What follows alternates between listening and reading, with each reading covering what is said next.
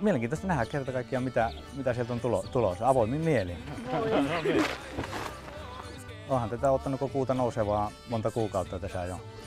Mitä, mitä tämä viikko tuo tullessaan. Ja kiva nähdä.